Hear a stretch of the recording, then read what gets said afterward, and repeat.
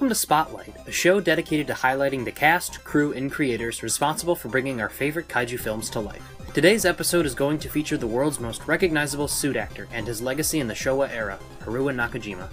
Haruo Nakajima was born January 1st, 1929 in Yamagata, Japan. Not much information on his early life is translated in English, so this section will unfortunately be sparse. Reportedly, as a young child, he made money by diving for seaweed, and at age 14 became a pilot trainee in the Imperial Navy.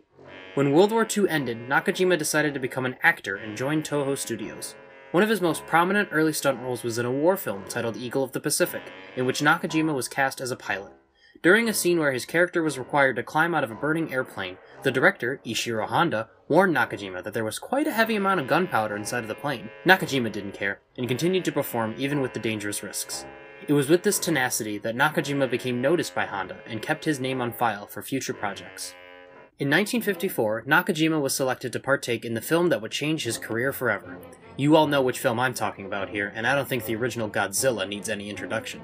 Before the film's monster had a name, it was known simply as G, and the script Nakajima was given did not have any sort of physical description of the monster. To prepare for this role, he went to various zoos in the Tokyo area and began to study the movements of large animals like bears and elephants.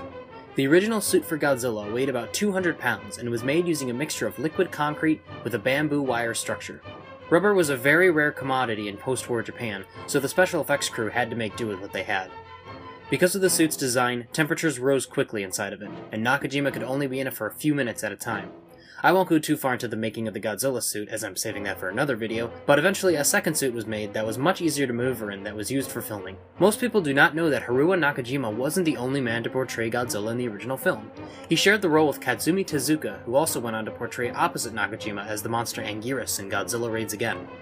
Nakajima and Tezuka's portrayal as the titular monster in Godzilla has garnered enough praise to fill a textbook, so I don't think I need to say much. It's a raw, monstrous, and frightening performance that truly embodies the natural disaster and war analogy tone that director Ishiro Honda wanted to showcase with the film.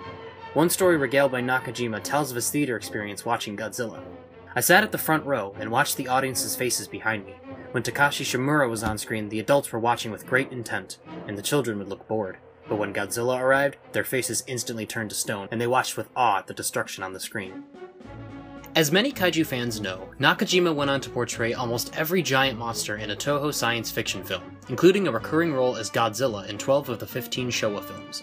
Going down the list, Nakajima played Rodan in 1956's Rodan, Mogera in 1957's The Mysterians, Varan in 1958's Giant Monster Varan, the Mothra larva in 1961's Mothra, a Matango mushroom man in Matango, Baragon in 1965's Frankenstein vs. Baragon, King Kong in 1967's King Kong Escapes, the Black Moth in 1969's Latitude Zero, and Gezora in 1970's Space Amoeba. Not only that, he joined the production of some of Eiji Tsuburaya's other projects, Ultra Q, the original Ultraman, and Ultra 7, playing the monsters Gomez, Pagos, Neronga, Gabora, Jiras, Kila, and Utom. As is common with stunt acting, injuries and accidents tend to happen. Nakajima was no stranger to that. During the filming of Rodan, the wires holding the suited Nakajima snapped, causing him to fall into the water. On the set of Varan, a miniature truck loaded with explosives detonated underneath him, scorching his stomach. And at the end of King Kong vs. Godzilla, when the two titans tumble into the tide, Nakajima hit his head on a rock and almost drowned. After performing as Godzilla for the final time in 1972's Godzilla vs. Gigan, Nakajima retired from the role and transitioned into more of a kaiju combat consultant and choreographer, showing newer suit actors the ropes and helping to coordinate their fight scenes. The footage on screen now is the last Nakajima ever donned the Godzilla suit. It was not a film used suit, rather, it was one that was used for promoting Terror of Mechagodzilla in the late 1970s. Haruo Nakajima sadly passed away on August 8th of this year.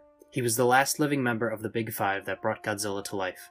This group included Tomoyuki Tanaka, the creator and producer, Ishiro Honda, the director, Eiji Tsuburaya, the special effects director, Akira Ifukube, the composer, and Haruo Nakajima, the actor. It was a very sad day for not just the greater kaiju fan community, but for the world. But in Nakajima's own words, a real actor does not cry. And I like to think that Nakajima wouldn't want us to be upset, but rather smile and look back on the work he did, and the smiles he brought us thanks to his tireless efforts both in and out of the monster costumes. He would want us to celebrate his life rather than mourn it. In keeping with the spirit, I'd like to name my favorite Haruo Nakajima roles Gaira in War of the Gargantuas, Rodan in his debut movie, and Godzilla in Destroy All Monsters, Godzilla vs. Monster Zero, and of course, the original Godzilla.